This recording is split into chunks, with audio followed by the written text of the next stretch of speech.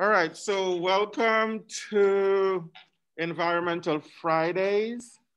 We are um, having in this series 15 guest lectures, 14 expert speakers, and this is gonna happen every Friday, well, at least the scheduled Fridays between now and February 2021. Um, it's a free series for anyone who would like to join us.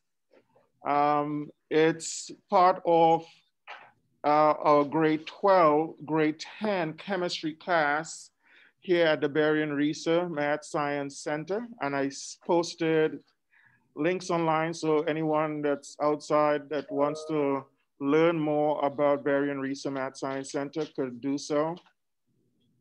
And the students are gonna be um, engaged in creating public science announcements and some of them will be based on these lectures that they will hear. Uh, the lecturers, some of them would help uh, mentor students in the different topics they may select. Uh, if you want to see previous PSAs, videos, I have a mm-hmm. link uh, here too in the chat. And if anyone um, would like to ask questions, you could ask in the chat. And of course, my students will ask right here. So our speaker today, our very first speaker for the Environmental Fridays is Dr. Ann St. Amand, Amand, and she actually is a local environmental scientist. Um, she owns and is the president of a company called Phycotech in St. Joseph.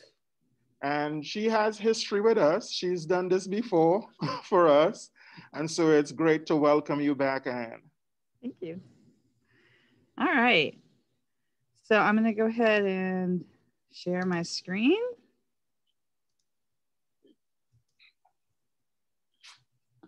Okay. All right, guys. Okay. So it's early. I know 8 a.m. is early. So uh, we'll try to make this um, fun and entertaining as, as well as informational. So um, as Dr. Murray said, I am uh, environmental scientist and I own a company locally called Phycotech. And um, I have been in business for a fairly long time. Uh, scary how long I've been in business since 1990. And so, um, you know, my charge is talk to y'all about careers in environmental science um, in your chemistry class. So even though I am at heart a biologist, um, I'm going to kind of talk to you about the nexus of those two things. Um, it's interesting because I have found that uh, even though business can be somewhat cutthroat, environmental sciences is a little different because people go uh, to those careers in environmental science because they have a sense of wonder about their world, because it's fun, it's cool. There's a sense of stewardship um, that most environmental scientists have. On average, I have to tell you, uh, it makes it a kinder business environment um, when you're working. Uh, it's non-conventional. I do not have to dress up for work. And in fact, right now I'm wearing my Science Olympiad t-shirt, which I will show you real quick, has uh, says sarcasm in the periodic table. Um, so uh, it's challenging. And unfortunately, for most environmental scientists, um, we are a little more subject to politics because it affects state and federal funding. So, um, and, and right now it's tough environment to, to be an environmental scientist, especially one who works on climate change like I do. So, um, so there's a lot of things that draw people to environmental science um, that make it a pretty cool business atmosphere to work in.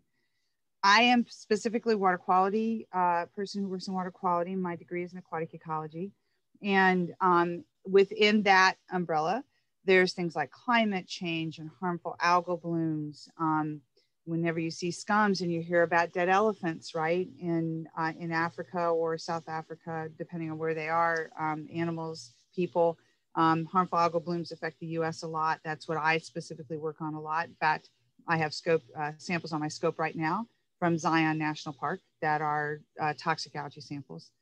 Hydrogeology, if you like modeling, if you like math, if you like working with the public, um, there's a lot of a lot of work that has to be done with stewardship specifically, and that is the combination of social science and science. So just because you might not be a hardcore mathematician or hardcore chemist or a hardcore biologist, we also need people who can interface all of us with the public and with um, people who, in my case, live on lakes methods development. Um, I do a lot with TMDLs, which is an EPA uh, mandate that regulation that large water bodies that have impacts, negative impacts to their water, have to develop the maximum amount of phosphorus that can come down any river system at, at a daily basis.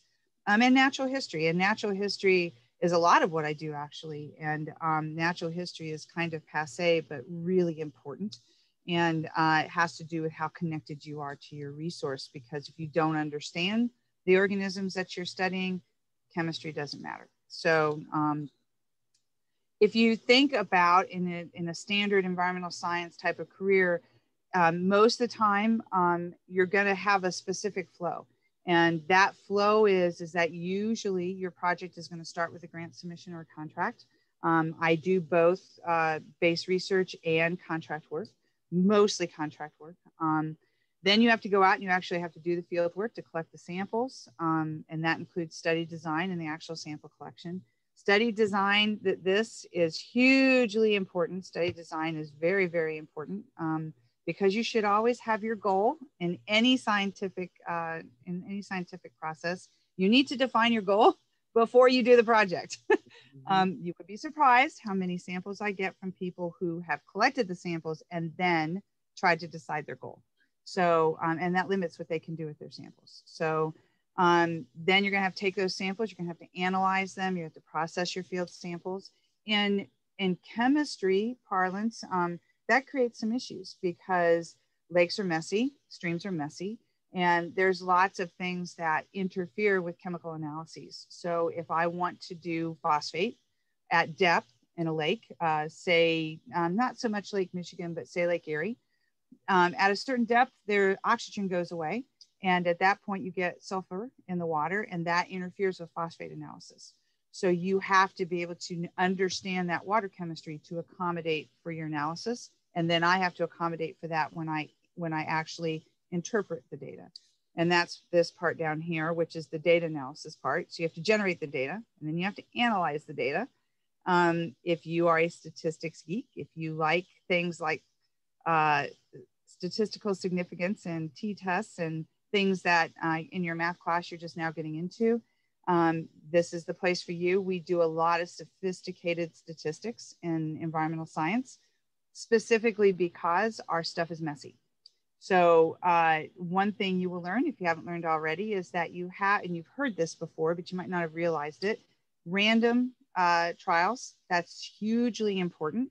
And, um, and also you have to have things that are normally distributed. So that bell curve, right? And uh, in biology, there's two things you almost never get to have. One of those is random and one of those is a bell curve. And so we have to use some pretty sophisticated uh, math when we analyze our data in aquatic ecology and any kind of environmental science. Um, and, and you've probably heard that kind of talk when they're talking about these large uh, vaccine trials, right? They're trying to get double blind studies. They're trying to do things where they have both people who have been exposed and not exposed to the vaccine. In lakes, think about that. It's much harder to do that in the lake in a stream uh, or in the environment anywhere, actually usually looking at a highly impacted site. And that sort of takes out most of your chances for randomness and good study design. So you have to be pretty innovative. Report generation, which is important. So if you're an English geek, if you like to write, that's very important in environmental science because it's easy to confuse people. And you have to be clear and you have to be concise when you communicate. And you have to do it in a way that doesn't put people to sleep in five seconds. So um, it's it's important to be able to be able to communicate clearly to all levels. That is different. Um, I have a friend who works at Eli Lilly. He's a, a PhD chemist and uh, works on their QA/QC line. And he only has to deal with other with other chemical geeks, right? I have to deal with people who include 80 year old lake man, uh, lake owners and also highly, you know, double PhD, sometimes triple PhD um, chemists and professionals. And so I have to, to um, bridge a much larger educational and interest rate than, than my friend who works at Eli Lilly. So if you're in environmental sciences, you're more likely than not going to have to be called on to communicate across those different levels. And then that report, that all important report, is going to end up in either a mitigation where you're trying to clean something up or a policy change. And I have contributed to both of those. Um, so what we do at Phycotech, well, as you can tell behind me, um, I uh, look under the microscope. This is Spirogyra. It's a green algae. It's a spring algae. Um, also comes back sometimes in the fall. Um, kind of looks like a green cloud in the water if you ever look for it. And um, zooplankton and, and macroinvertebrates. So I look for zebra mussel veligers, which is a, a larval stage of zebra mussels and quagga mussels. But most of my time I spend on the microscope and most of my time I'm looking at algae or at zooplankton. Uh, I consult on toxic algae and invasive species, uh, both plants and algae in and around water, but mostly in North America. And I consult with uh, all sorts of local, state, federal agencies about field study designs, long range monitoring, and research projects. Right now, I'm working on a big research project in Lake Okeechobee, trying to figure out what cues their blooms my part is the biology, um, both using remote sensing and microscope work and something called a imaging flow cytobot. And then we're combining that with all sorts of hardcore water chemistry, epigenetics, genetics, culturing. It is the first synoptic study that I have ever known of where we have done everything all at once, and it is a three year study. Um, and it's going to be super awesome if it doesn't kill me. So, uh, and then as I said before, I participate in both contract work and research. That's a little unusual, um, but it's because I'm a consultant. So I walk this line between business and science all the time.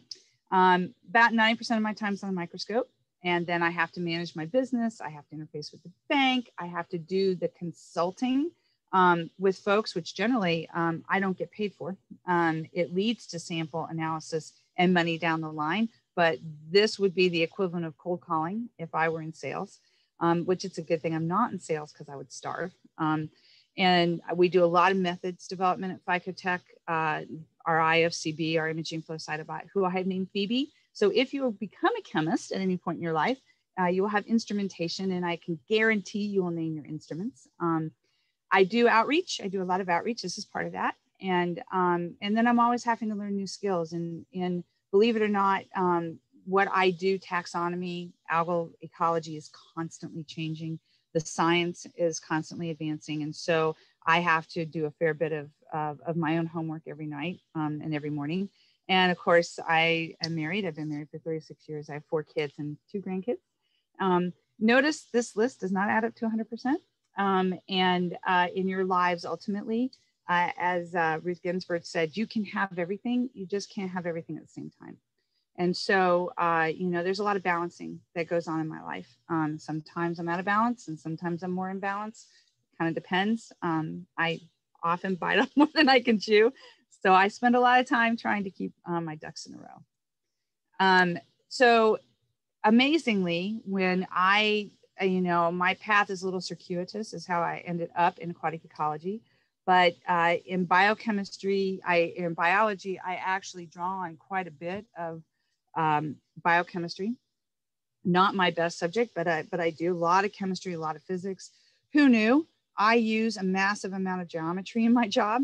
So any of you who think that you will never be using a certain subject, uh, you might be using a lot of that subject uh, down the road. Who knew? Um, and that's because we do something called biovolume. Uh, algae are microscopic for the most part. Even these guys behind me are hard to see. And so we estimate their volume based on their uh, conformation, whether it's a cylinder or a sphere or a funky thing. And, um, and then we assume a density of one and convert that to a biomass based on that. There are a lot of assumptions and a lot of correction factors. It is a whole lot of variation, but that's how we estimate um, individual contributions from different species. A lot of history and national natural history and ecology. That's really where I where most of what I live is. Um, a lot of sophisticated database programming. What I do generates a lot of data points. That is a problem, and um, and we have over the years constantly tried to keep up with the technology so we could handle all the data points. We we generate a lot more data points than most industries do. Um, And so if you think about it, if I'm out doing a profile on the lake and I need to know what the pH is, what the oxygen is, what the conductivity is, um, what the salinity is, what nutrients there are, and then uh, there's maybe up to 30, 40 of those parameters I can add in. And then I add in anywhere from 30 to 250 species on top of that and all of their measurements. It is a huge data requirement. Um, we do, we're working on artificial intelligence, um, having our challenges with it, but we're working on it. If it were easy, somebody would have done it by now. A lot of optics and high-end analysis. I just had to replace my microscope camera um, to the tune of $10,000 because my old microscope camera, which was still perfectly good, would not interface with Windows 7. It would not or wouldn't work with Windows 10. And as many of you may know, Windows 10 became a requirement uh, at the end of last year, and they no longer supported Windows 7, which made it a security risk. And I have had uh, crypto virus come into my my facility before. Um, so we have to, I had to upgrade, which meant I also had to buy a new computer. So uh, that simple change by Microsoft resulted in about $15,000 of, of input on my part. Um, we do a lot of remote sensing. I'm working with USGS now on a remote sensing project in Upper Klamath Lake, looking at do different toxic algae have different spectra that they can see in, in satellite data. The non-technical areas that I use, which still require a lot of skill, are communications and public speaking. It took me a long time um, to get a little comfortable at public speaking. I'm not very good at it. Um, so I let the geek take over, and that seems to make up for it. Social sciences. Um, it's interesting. I also do a lot of uh, consultation on native landscaping for erosion control and habitat. And um, it tends to look a little different than structured traditional landscaping. And they've actually done studies uh, which show that people in a neighborhood will look at somebody's landscape that isn't traditional and assume that they're not um, as good a person as somebody who's is traditional. So we all have biases, and um, it's been it's a lot of work to uh, get people to understand why you do things the way that you do them. And then the business financial part, also something I never thought of, never really had the chance to take those classes in college, either in grad school or in undergrad. Um, and so I had to take a, cr- a, crash course in how to balance a budget, and um, money's real. So uh, I can't pay my staff with something on piece of paper. I have to pay my staff with cash. And so uh, I've had to do a lot more of that. I had to apply for a PPP, um, which is that uh, loan that allowed businesses to be able to keep their employees uh, on staff during the initial parts of the shutdown. So um, amazingly, it was not a government problem. It was a private company problem that caused me to have to do that. But it, it allowed me to easily stay in business. I would have stayed in business anyway I wouldn't have not necessarily have stayed in business with all my employees. Um, the hardest thing I do is managing people, and I do a hard job. Uh, it's people look at biology and go, "Oh, it's just biology." Well, I'm integrating physics and chemistry and biology and climate change and human behavior and, and environmental behavior all the time, and um, keeping my staff on task and on point um, and happy uh, is even with the great staff I have is complicated and um, people are messy. And so it, it never ends. And so uh, it helps, I think, that I'm a parent. Sometimes I will admit, uh, just y'all, that um, I, I, it helps having parenting experience when I have employees. Um, right now, I have a really stable, highly trained staff. I'm very thankful for my staff right now. Um, I got some great people. It hasn't always been that way. And so, um, you know, it's, it's challenging. So what I do, um, I don't know if you guys have remember hearing about the issues in Lake Erie, but um, Lake Erie has persistent blooms of toxic algae. It is a combination of nutrients coming in um, from the Maumee River uh, and this, this lower part of Lake Erie. Lake Erie is a perfect storm. Uh, it's the shallowest of the Great Lakes. It's the warmest of the Great Lakes. And there's a huge amount of agriculture that happens here. I actually used to spend my summers not just south of, of Toledo um, and have been in this area, Sandusky, a lot. Um, I have pictures of me when I was 12 playing on the beach with dead fish. At that point, it was oxygen and chemicals. Now it's toxic algae. And this is my picture, and this is the picture of that. So um, when zebra mussels came into that lake, and they started having all this huge input of nutrients from agriculture. The zebra mussels ate all the good algae. um, don't like this algae. They actually reject it. And so that's the only thing that's there now. And um, this is from 2015, I believe. This year was not too bad, um, but they have these blooms every year. And you have to really understand hydrogeology, you have to understand water flow. Um, climate change is huge um, because we have more summer, less winter. And um, these things are built to last and, and they like hot temperatures. Um, and they like lots of nutrients. And so uh, they're feeding off of all of those things. And so I will help them do the counts. I'm potentially going to maybe um, work on some research in this part of the lake or maybe right there at Toledo with um, hanging in this instrumentation off their, off their sampling crib. Um, and I get called for people like this. So um, right now I'm working with Zion National Park, but I also do a little bit of work uh, in Michigan. Most of my work is not in Michigan we don't sample our lakes very much. So we have 35,000 lakes in the state. We have 11,000 over five acres, but we only sample a couple, 300 of those with a volunteer monitoring program and a few through USGS and NOAA. Um, and so we don't have a statewide funded lakes program, which is sad because we have some of the highest quality lakes in the, in the country um, and they are degrading and we don't have a good handle on why or where. And um, if you have looked at the news, there's some stuff about Torch Lake up north um, with an algae, blue green or uh, golden brown algae on the bottom. I'm also trying to help with that problem, figuring out why it's there, probably related partially to climate change at least, um, and then how to fix it um, because they it's escalating and they're not sure how to fix it. And so people will often send me samples from these kinds of systems and I tell them what algae is there and when it's gone, and then they can figure out how to test for the toxins and then ultimately how to manage the system. So Phycotech does something in a way that no other company does. This picture here, uh, that algae is called Ceratium. It's actually uh, from a marine environment. It's actually from the ocean. Um, but this is a permanent mount. And I am the only one in the country that does permanent mounts on a production basis. So I did that because I had children and limited time. so it allows me to count a lot more samples per day and per year than on a single counter basis than other labs. And I have a permanent archive. So I can go back to any sample I've counted back to 1986 and um, be able to look at it. And it'll look just the same as it did in 1986. We're considered um, the standard for how to do that. And um, I am admittedly a jack of all trades and a master of none. So uh, I am good at a lot of different groups of algae, more so than most other phycologists, but I'm not an expert on any one. That makes me better adapted for this type of work, which is looking at pieces, parts of things, but not necessarily uh, to be an expert in culturing or genetics or genetic analysis or qPCR, which is um, highly technical work. Also takes a long time. Um, and I can do what I do in a matter of seconds, whereas it takes days, months to do the culturing and the genetic work that they would do to put those two parts together. So we interface, we work together.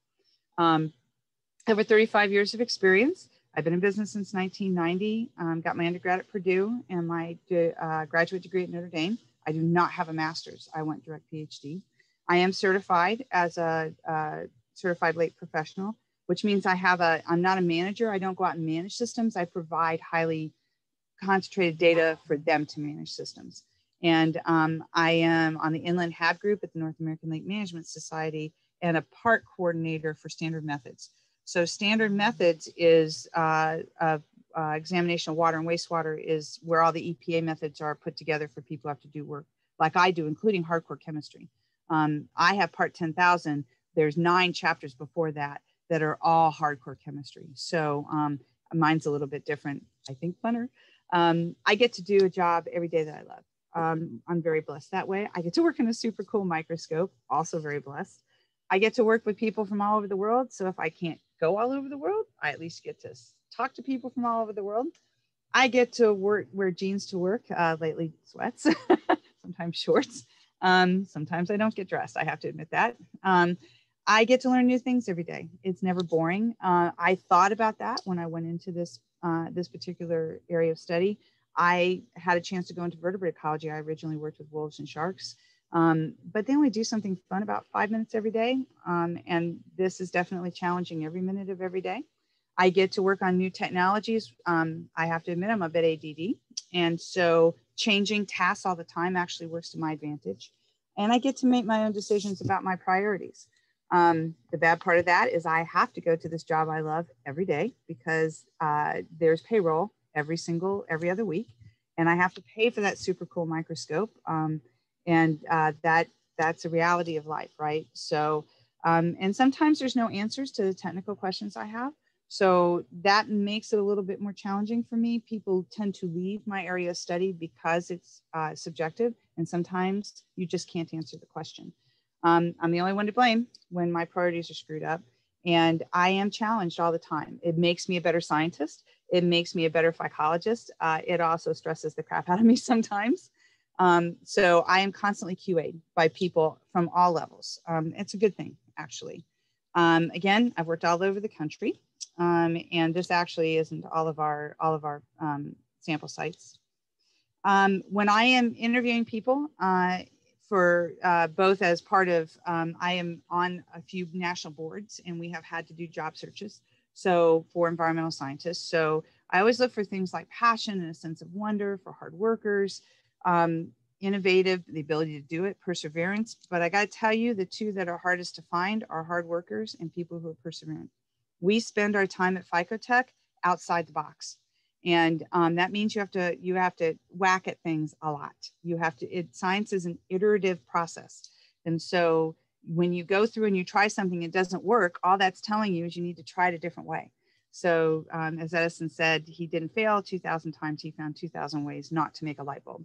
So, uh, you know, you have to, in each time you go through that process, you learn something and that throws you to the next the next dichotomous ch- choice you have to make. So um, it's an iterative process, and you have to not give up.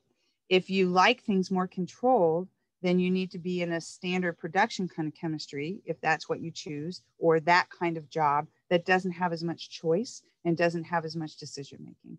But um, you know, being a hard worker and being perseverant are huge because it's easy to find people who are smart, and it's easy to find people who are relatively innovative um, having passion, being perseverant, being a hard worker, those are hard attributes to find. Um, I'm a geek and I embrace it. So, uh, and I'm a biologist at heart. I'm always going to look for the organism. Uh, I have, uh, most people who do what I do have to have a master's or a PhD. Some have an MMD as well. Um, and that's because biology is a huge, big area. Chemistry is somewhat similar. So you can be a tech in chemistry, um, but chances are if you want to do anything um, that is uh, that is innovative or at a higher level, you're going to have to have a master's or or a PhD. Um, most of the folks I interface with, with work mostly in federal government, state government. I have some academic partners, um, and I do a lot of consulting at the at the Lake Association level as well. And um, this is a great uh, environmental science is challenging. It's rewarding. It's not necessarily high paying. So uh, my son just graduated with a mechanical engineering degree and he actually, uh, right out of undergrad without any other certification, is earning as much as I am. Now, I made that choice. I can pay my bills and be super happy. Um, but you have to be pretty high up in the federal government or a different kind of company to earn, you know, over a hundred thousand dollars. Um, and that's important because you need to know where your level is of comfort. If you're a chemist, you're going to have a higher level people will pay more for chemistry than they will pay for biology. I made those choices and I'm super happy with that. I chose to keep my company small because my only other choices were to go big and manage and not count. And that would make me not a happy Ann, um, or to work for somebody else, which wouldn't work well with my lifestyle. So um, I would have to go into Chicago, I would have to go into Detroit or, or Indianapolis to get a job which would be consistent with my level of education, do the job I want to do. So my choice was to actually make my own job, and I am super happy with that. Um, I interface with all these people oh, all the time. Um, so uh, the interesting thing is lawyers and judges. I never thought uh, in my life that I would interface with lawyers and judges, but I do do expert uh, expert um, testimony on occasion. And that has included um, everything from just environmental impact all the way up to a capital murder trial, um, and um, which I won't ever be doing again. Um, so I actually do have to deal sometimes with litigation, not something I would have thought I would have had to have done. Um, and, uh, you know, all these different people are impacted by different parts of my job. And so uh, amazingly, I work with all these people all the time. So I also, my outreach is environmentally uh, education oriented. So I get to do upstream and SAM in the classroom and Science Olympiad. Those will look different this year. As you all know, you know, you're wearing masks. I'm not because I'm alone in my basement. Um, my cat might have a mask though. I've thought about it. Um, but you know, we're doing upstream virtually. I'm lecturing virtually. Hoping in the spring we can get in the field. We're doing Science Olympiad virtually. Uh, as Ms. Schneider knows, uh, it is a little challenging. Um, we can't actually do hands-on, but we can do uh, study for the test, and we're going to do that with mentors by uh, by Google Meet. Um, SAM the classroom, we're going to put off for a year. Um, we have to uh, feed these fish three times a day once they once they start eating, and that's pretty cumbersome if we have to go home for any reason. And my staff and I get the, the burden of that. So um, SAM in the classroom will have to wait till next year, but the rest of the stuff we're going to keep doing. Um, I get to go some pretty cool places. Uh, I won't this year, but I in the past have gotten to go to some, pre some pretty cool places. I don't travel very much. Um, I'm mostly at my lab, but I have gotten to go to Alaska, and these are my pictures. So um, I've gotten to go to Alaska, and uh, that was the coolest whale, and she had a calf with her. Um, to uh, British Columbia, I've gotten to go to uh, British Columbia actually two or three times. I've been to both Banff and Lake Louise.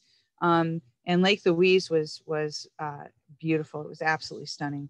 Um, and almost got to see Grizzly, but missed him by just minutes actually. Um, been to Denver, which was fun too. Um, I have a friend who actually goes camping with with mamas. so um, these are like his pets, and he takes them camping. Um, and we uh, often, when we're on, uh, when I go to work, when I go to meetings, I do a workshop on algae every year, and we go sampling. And so it's a whole day of just driving everywhere we can and sampling every ditch and pond and lake we can find. And it's a lot of fun. And um, it's my primary way of getting field samples. So, and uh, if I were at my lab, this would be my super cool microscope. Um, and, um, you know, it's great. It's an awesome microscope. And I now have a new camera on top of my microscope and a new computer. But um, but you know, it's I work in half light. Um, I get to have my light on right now because I'm talking to you. But this microscope, you can notice that my light is half dim, and that's because I use see that green glow right there. I use uh, epifluorescence, so I have to have the light at half light to do that. Um, I'm very happy when I get to come up into the light uh, during the day. So, and these are some of the pictures I've taken on my microscope. These are all samples. Um, this is that that what that green light does. It makes things glow. It is so cool. Um, that is actually from the ocean. Uh, and then these are, are different algae uh, actually from around here. Um, this is Chara. So if any of you guys live over near Singer Lake, there's a great Chara bed over there. Um, and uh, we just went and collected again a couple, couple days ago. I did a workshop for a meeting. So um, I wanted to be able to show them what Chara looked like. And I was a little worried it was an invasive species of starry stonewort, um, but it's not. 99.9% uh, sure it actually is Chara, So I, I, was happy about that. And then these are also samples I've taken from around here. You swim with these in the lake, actually, these little guys all the time. Um, and, and Singer Lake as well. Um, this is Euglena. Euglenas have eye spots. So this is one thing is um, that, that really confuses people about algae is that they are trash cans evolutionarily. So they're in many different actually groups and kingdoms cyanobacteria, the Hab algae, they're, they are Monera, they're in the bacteria. Um, the only thing that algae have in common is chlorophyll A. So, and you can't see it, but I actually have chlorophyll A, chemical chlorophyll A earrings on. Um, and, um, you know, something like Euglena, it is considered a protozoan. So, but still photosynthesizes, and that's why they're all together in the algae. And so I actually have to know a lot of biology from a lot of different groups at once. So, um, I believe uh, I was asked to do about 35 and we're at 34 minutes. So I have plenty of time to answer questions.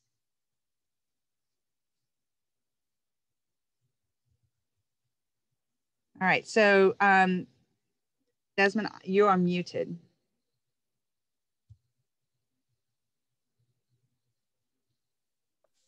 Uh, there you go. There we go.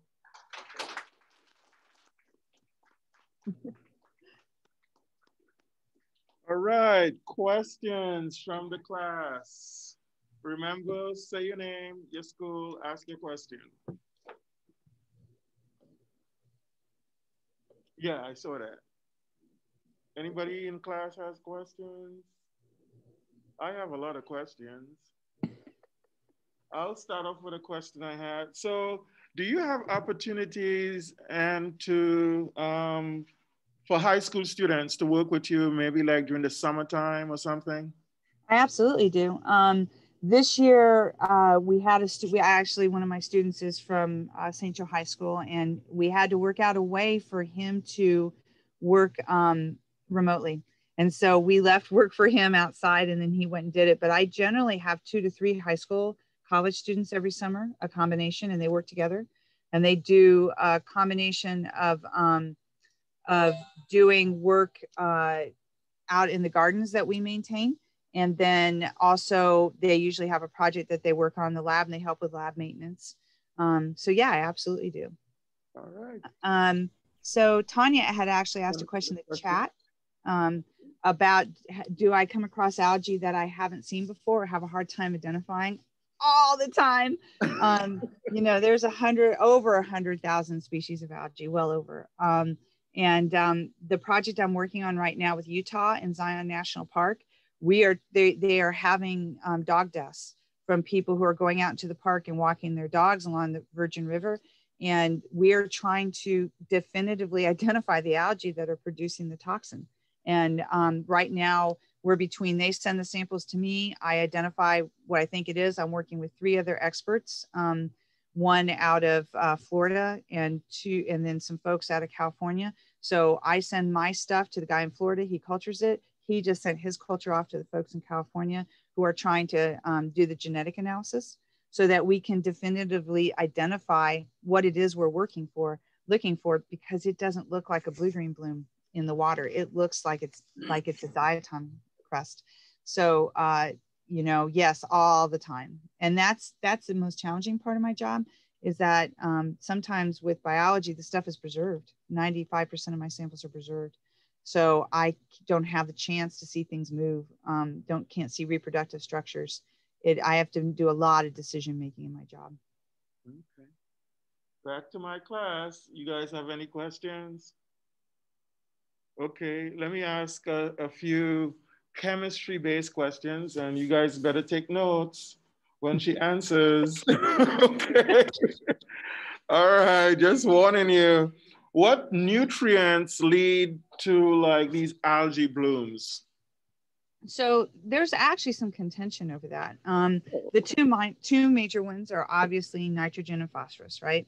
Nitrogen there are, and okay. phosphorus, right? And the two bioavailable uh, parts of that are nitrate and phosphate, NO3 and PO4. You guys got that? Nitrate and phosphate? All right. okay. So, um, but it gets more complicated because it's not so much just the absolute amount of either of those, it's the ratio of the two of them. Mm. So, um, blue green algae, cyanobacteria, do really well with a high phosphate and a low nitrate ratio because this, many of them that produce toxins have structures that allow them to fix their own nitrogen. Mm-hmm. So, and that their ability to do that is based on the ability to have the environment be anoxic or without oxygen. Mm-hmm. Well, most of our lakes have oxygen, mm-hmm. so they should.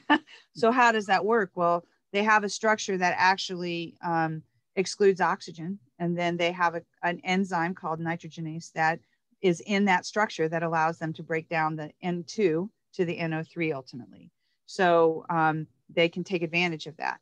There are some ecologists, some plankton ecologists who feel that um, although although phosphate sets the ceiling, that it's really the nitrate that is important. Um, and there's some indications that nitrate are important, nitrate levels are important for toxin production. We don't know why these algae produce toxins. So um, that's a long answer to your question. oh, it's, it's good. It's good. So I'm assuming then, as a follow up, that most of the chemical analysis that you might be involved in involves the nitrate, you know, finding the levels of nitrate and phosphate. Is that the correct assumption? well, it is, but um, because the dynamics of phosphate in the environment are uh, tied to oxygen, um, we also have to have oxygen and pH. So okay. the the thing is, is that when the water goes anoxic, um, there's a chemical, um, iron oxide, that te- that dissociates when the water goes anoxic. Iron oxide binds phosphate. So when that goes anoxic, it liberates the phosphate, and then that phosphate can diffuse to upper levels and fuel the algae blooms. Um, the more organic material you have in the bottom of the lake degrading, what we call biological oxygen demand, the more likely it's going to go anoxic, and the more likely you're going to liberate all that phosphate. So you need to understand that dynamic of oxygen, phosphate, nitrate, also what we call species of those. So there's nitri- nitrogen, which is N2, that's atmospheric nitrogen. And then there's night, then there's nitrite, mm. or then there's ammonia, nitrite, and nitrate. And so bacteria are responsible for that for that train. Mm. In phosphate, it is more physically dominated, so it doesn't necessarily require bacteria to go from phosphorus to phosphate. And so they're they're guided by different processes. Some are biologically mediated and some aren't. Um, and the pH is important in all that. Um, and turns out there was a, a fish kill in North Carolina. Uh, somebody went to a workshop of mine, just sent me a sample. The thing that actually killed the fish was not necessarily the toxin that the algae were producing.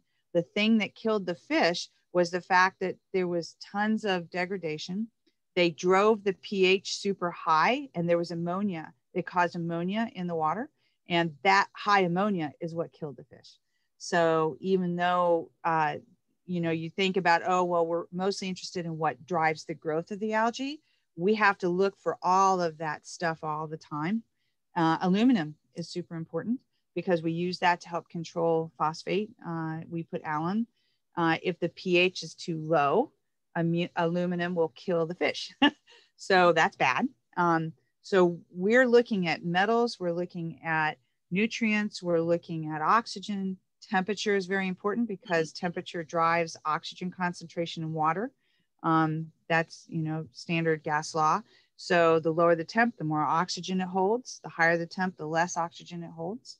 Um, that's why temperature is considered uh, thermal pollution is a problem because you jack up the temperature, you lower the oxygen, you stress the fish, and you encourage bad algae. So uh, all this stuff, we're, we're very integrative. Aquatic ecology is very integrative with chemistry, biology, and physics. Okay, very good questions to ask mm-hmm. my students here. So to just to clarify, anoxic means lack of oxygen? Mm-hmm. Anoxygen, anoxic means water down to zero. Now for fish, having low oxygen means below two milligrams per liter. But for chemistry, it's got to be 0.2 or below for it to be considered anoxic. Of, uh, and that, that goes back to like the dead zones in, in the Gulf and things like that. 0.2 or lower of oxygen concentration. Yeah. Mm-hmm. Okay. Okay. All right. Um, again, do you guys have any questions? Go ahead, say your name and. Um, Parker from Niles. What's the largest consulting job you've done? Oh, so, um, so probably the largest consulting job I've done is uh, Great Lakes sampling with the EPA. Um, that involved hundreds of samples and contracts that were several hundred thousand dollars um, over those big sampling. It won't happen this year. Um, it didn't happen last year. The um, EPA has been severely cut back, but um, generally those are because they have this huge grid that they sample the Great Lakes on. Um, I get hundreds of samples and uh, it is it disrupts my lab actually because that's all we do for like three months four months is do those samples um, but that's probably the biggest one. I have also sued the federal government over uh, over projects before as well. And won. Okay. Okay. Uh, any question? Um, i have another question. So with your chemical analysis, I'm assuming that you send that out, you subcontract it? We do. Um, do that too? So lat we I could do it. Um, that's called Oh. wet chemistry. I could do it, but Okay. we are so full doing the taxonomy. Um, I would have to hire a biochemist um, to be able to do that kind of stuff, and we don't have the footprint. Mm. So there are other there are literally dozens of companies in the U.S. Um, probably a hundred or so that are competent at that. There's about ten or fifteen that are competent at algal toxins. Um, I have five competitors that do what I do. So I decided my business strategy, this actually goes to my business strategy, is that um, if any of you guys ever want to read a good business book, Good to Great uh, is a great book to read. And um, that part of the core of that book is your what they call your core competency or your wheelhouse, and mine is taxonomy. I'm good at it. I really like it. Um, our facility is well set up for it. And so um, that's where we've decided to concentrate and not to spread out to alga toxins, which would be logical, um, or uh, or to do uh, to do water chemistry. So I send it out. I actually send it out to Great Lakes Environmental in Traverse City. Okay. Last question I have is what are some of the health effects of algae blooms? So it's interesting. Um, they they go all the way from skin rashes to death. Um, if you have watched, uh, there was a thing on CNN, Weather Channel and CNN over the last couple of years about algal toxins, and I was frustrated by those because both of those indicated that animals could die, but people could not, and that's not true. Um, other countries have had, and we have in this country had suspected deaths, but other countries, China, South Africa, Africa, Brazil, uh, Australia, um, Europe, um, all of those areas, countries, consortiums have all had human deaths from algal toxins. Um, so there are liver toxins and neurotoxins and, and what they call dermatoxins. So you can get rashes all over your body. The most common is the stomach. It starts with a stomach upset, seizures. Uh, the one death that we think in the US, uh, there were six kids uh, from a soccer team who hopped a fence at a golf course in Wisconsin. All six got sick two had seizures, one died. Um, and there was a high bloom of, um, of Dolichospermum lemmermanni in the pond. So um, at that time, 20 years ago, they didn't have a great way to do all the chemistry they needed to do to confirm that was what it was. But um, but they're, I mean, they're 99% sure that's what it was. So, you know, you get sick to your stomach. It does cause cancer. These toxins, especially microcystin, can cause cancer. Um, and there's some links to neurodiseases in New York they've started to look at um, associations of hotspots of ALS, Parkinson's, and MS with uh, persistent microcystis blooms, like in Central Park.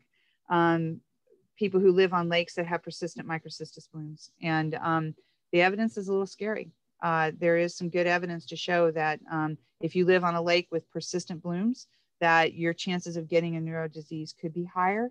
It is so far anecdotal um, because again, can't find a control and you can't do a randomized study, right? So it's it's going to be a lot of sleuthing, um, just like with smoking, right? Took them a very long time to figure out what those effects and associations were. Mm-hmm. So everything from a skin rash to stomach problems to seizures to tumors down the line to death. It is it is a, and there is no treatment. It is you either survive or you don't. And every time you're exposed, you lose life days. Wow. Okay, we want to thank you, Dr. Ann St. Amand, mm-hmm. very much. All right. Well, thank you guys. I appreciate the chance to talk to you. Okay, we'll stay in touch. Yeah. And if any of your kids want to contact me about career stuff or life stuff, um, they're welcome to. Just email me. Yep. If you want to do a PSA on topics that you heard today, um, I'm pretty sure again you'll be able to, you know, talk to them and guide them along. Sure. All right. Thank you. Thank you. Bye. Have a good day. You too. Thanks.